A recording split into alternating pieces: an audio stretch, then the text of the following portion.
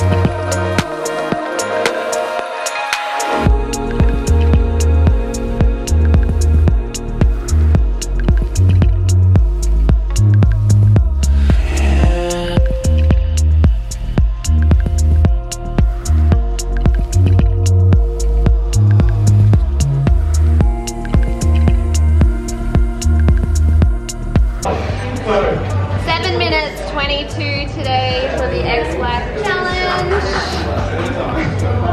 How was that, James?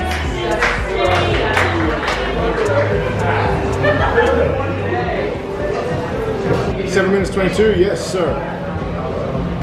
Thanks for the love, guys. Um, yeah, I'm at the, the whole enchilada, Winter Park. That was actually really good. That was actually a gun burrito.